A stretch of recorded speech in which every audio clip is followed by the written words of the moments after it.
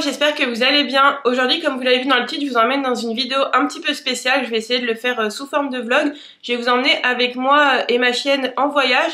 Donc euh, elle s'appelle Saya pour ceux euh, qui l'auraient pas vu dans les précédents vlogs. Et là, je vais partir quelques jours avec des amis. Donc je me suis dit que c'était le moment pour faire une petite vidéo pour vous expliquer comment je m'organise quand on part ensemble en vacances. Donc à savoir que euh, c'est la première fois que je vais partir avec elle et des amis. D'habitude je pars avec elle en vacances avec mes parents ou alors quand je pars avec mes amis je la laisse chez mes parents parce que la plupart du temps on y va en avion mais là on y va en voiture et mes amis ont accepté euh, que je la prenne avec moi donc euh, je me suis dit que j'allais vous partager ça en vidéo et je me suis dit aussi que c'était la bonne période pour faire cette vidéo. J'avais fait une vidéo à peu près à la même période l'année dernière sur l'adoption de votre premier animal donc n'hésitez pas à aller la voir je vous la mettrai dans le petit. Le week-end où on part c'est le premier week-end des grandes vacances scolaires pour les enfants et malheureusement, c'est à cette période-là que le nombre d'abandons augmente, que ce soit chien, chat ou même euh, lapin ou euh, nac. Donc euh, je trouvais ça assez bien de faire une vidéo un petit peu préventive et aussi peut-être pour vous montrer comment on peut s'organiser et que c'est assez facile de voyager avec un animal. Il y a un conseil qui me vient en tête juste avant de partir en vacances avec un animal, donc que ce soit un chien, un chat ou un autre animal. Je pense que ça peut être bien de se renseigner là où vous allez, s'il y a une clinique vétérinaire pas très loin et où sont les urgences les plus proches parce que même si euh, je touche du bois qu'il se passe rien, on n'est jamais trop prudent et ça peut aller très vite. Donc euh, c'est bien de se renseigner, de savoir euh, où on peut trouver des vétérinaires. Moi, comme je pars en France, j'ai pas de problème là-dessus, donc je sais que je pourrais retrouver quelqu'un qui me comprend et qui a les bons médicaments s'il y a un problème.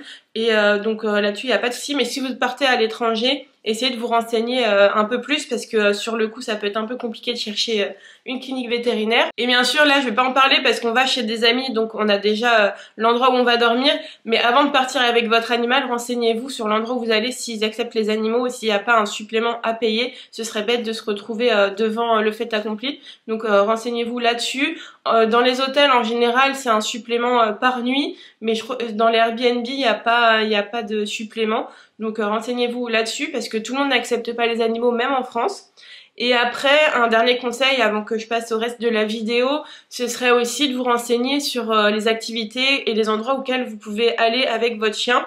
Bon, bien sûr, si vous partez avec un chat, il restera à la maison. Mais si vous avez un chien euh, comme moi, renseignez-vous sur euh, éventuellement les plages où les chiens sont acceptés, parce qu'en France, les chiens sont pas acceptés sur toutes les plages s'il y a des parcs spécialement pour les chiens et si même il y a des activités à faire avec votre chien, ça peut être sympa d'organiser euh, des petits trucs comme ça. Alors euh, je vous retrouve pour vous montrer euh, les affaires que j'emmène avec moi pour Saya. Donc là c'est uniquement pour elle, ma valise je l'ai faite hier. Donc déjà, j'essaye de prendre un grand contenant. Moi j'ai ce petit pochon que j'avais acheté il y a un ou deux ans sur le site Leaves and Cloud de Enjoy Phoenix. Elle avait fait une petite euh, box euh, pour les chiens, donc euh, je me suis dit que c'était parfait pour Saya. Il y avait eu peut-être quelques petits trucs assez sympas à l'intérieur. Donc j'utilise ce pochon, j'avoue que c'est pas le plus facile parce que tout est en vrac dedans, mais euh, c'est le sac euh, que j'ai pour ça. Comme ça, même quand euh, je la dépose chez mes parents ou quoi que ce soit, le sac est plus ou moins toujours prêt. Donc là, au fond du sac, j'ai laissé, il y a plein de petits sacs comme ça pour ramasser ses besoins. Sachant que sur sa laisse, j'ai déjà un petit sac avec d'autres sacs à l'intérieur. Donc je préfère quand même en avoir en plus. Ça, bah, justement, je l'avais eu dans la petite box là du pochon Leaves and Cloud. C'est euh, la marque Le Museau qui fait ça. Bien sûr, j'emmène euh, Salès et euh, elle a un harnais spécial et elle garde toujours son collier avec sa petite médaille autour du cou. En chose plutôt pratique, j'emmène toujours son passeport slash carnet de santé. On sait jamais ce qui peut se passer. J'ai aussi une petite carte qui prouve que Saya et à moi que j'ai toujours euh, dans mon porte-monnaie. Donc c'est assez important quand même d'avoir euh, tous ces papiers là après là comme je vous dis je reste en France donc c'est pas euh, ultra important mais c'est toujours bien d'avoir ces papiers. Et un conseil aussi c'est que si vous voyagez avec votre animal que ce soit un chat ou un chien dès que vous franchissez la frontière française même en Europe vous avez besoin qu'il soit vacciné contre la rage. Donc ça c'est important de vérifier ces vaccins avant de partir. Donc le carnet de santé. Ensuite je prendre deux petites gamelles parce que mes amis n'ont pas d'animaux donc euh, c'est toujours pratique d'avoir euh, la gamelle pour l'eau et les croquettes. Bien sûr je lui emmène suffisamment de croquettes, là on part 4 jours euh, pour, pour le séjour. J'en prends toujours un peu plus, on sait jamais si elle a un peu plus faim, sachant qu'elle mange pas beaucoup. Donc je mets ça dans un sachet comme ça. Et dedans il y a le gobelet mesureur. Ensuite, pour qu'elle se sente bien, je vais prendre ses jouets préférés.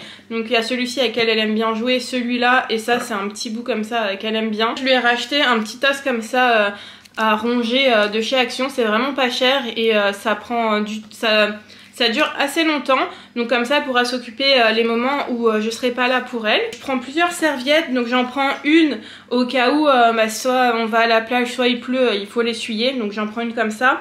J'en prends une autre pour la voiture, pour mettre par terre, comme je vous dis, elle a tendance à vomir un petit peu, donc comme ça on pourra la mettre au sol. Je prends aussi au cas où, c'est pas sûr du tout hein, qu'on aille à la plage ou quoi, mais je prends un petit peu de shampoing pour chien comme ça pour pouvoir la nettoyer après l'eau de mer. Je prends sa longe, comme ça on pourra faire euh, des plus grandes balades que je vais mettre dans un sac plastique parce que comme elle traîne par terre il y a souvent du sable dedans et là je suis allée chez Action et comme on va dans le sud il risque de faire chaud je lui ai pris un tapis comme ça euh, pour se rafraîchir. Donc j'ai jamais testé donc on va voir euh, comment ça fonctionne. J'en ai pris un qui fait 60 cm ça devrait le faire.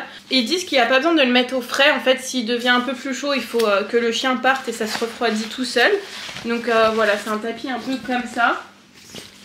Et j'avoue c'est assez frais.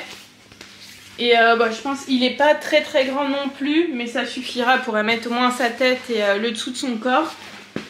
Et euh, je vais pas lui prendre son lit pour dormir parce que ça va prendre un peu trop de place et on part que 4 jours. Et en général elle dort pas trop dessus donc on verra comment on s'arrange sur place. Et aussi pensez si votre animal est sous traitement à prendre ses médicaments, tout ça. Et euh, moi je sais que euh, quand elle stresse elle a tendance à faire euh, cacamou donc je vais peut-être lui prendre un peu de smecta et ce que je fais c'est que pour lui donner le smecta je prends une petite pipette que je remplis d'eau avec le, médicament dedans et je lui donne directement. Voilà pour ces petites affaires, il n'y a pas grand chose mais ça, devrait, ça devrait aller. Comme je vous dis, de toute façon, on part que 4 ou 5 jours et euh, on est en France, donc euh, je pourrais racheter s'il manque euh, certaines choses. Voilà pour ces petites affaires. Dites-moi en commentaire, vous, ce que vous emmenez pour vos animaux de compagnie quand vous partez en vacances. Et je sais pas si je vous l'ai dit, mais pour Crème, du coup, je m'organise. Il y a mon voisin qui va venir une fois par jour pour s'en occuper et la nourrir. Ah oui, j'ai oublié de vous montrer, mais pour la voiture, j'ai acheté ça. C'est une sorte de ceinture de sécurité pour animaux.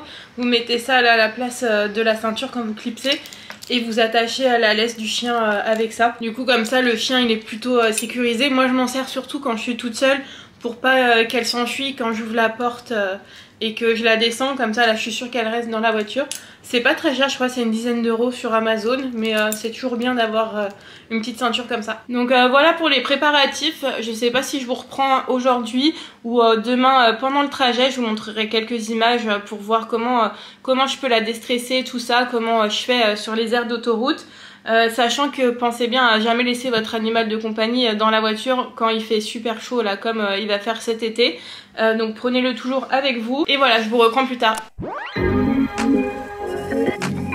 Thank you.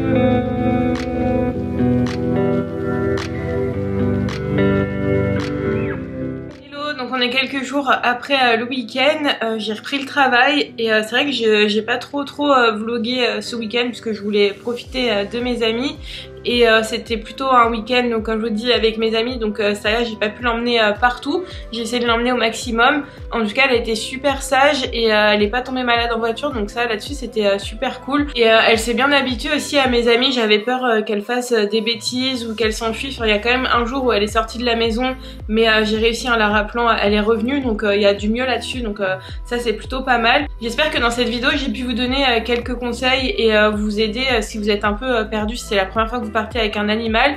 J'avoue que là, comme je vous ai dit, euh, c'était pas vraiment un week-end euh, spécialement avec elle. Donc j'avais pas prévu beaucoup d'activités avec elle, mais si vous en avez, n'hésitez pas à me les donner. Peut-être que cet été, euh, j'irai avec elle plutôt en Ile-de-France, peut-être dans la forêt où il y a des coins sympas comme ça pour promener les animaux. Mais en tout cas, là, c'était pour vous montrer qu'on pouvait partir en week-end ou en vacances facilement avec son animal et qu'il n'y avait pas besoin forcément de le faire garder. Donc voilà, c'était une petite vidéo comme ça pour vous montrer comment moi je m'organisais pour voyager avec Saya. Euh, j'espère que ça a pu euh, vous aider. Si c'est le cas, n'hésitez pas à me le dire en commentaire. Et si vous voulez d'autres vidéos comme ça, un petit peu conseils pour euh, voyager avec vos animaux ou vivre au quotidien avec, ou là je comptais peut-être aussi faire une vidéo pour vous expliquer comment adopter un deuxième animal et surtout si c'est un, animal qui vient d'un refuge comme Saya, les pour et les contre. J'espère que la vidéo vous a plu. Si c'est le cas, n'hésitez pas à la liker et on se retrouve la semaine prochaine dans une nouvelle vidéo. Salut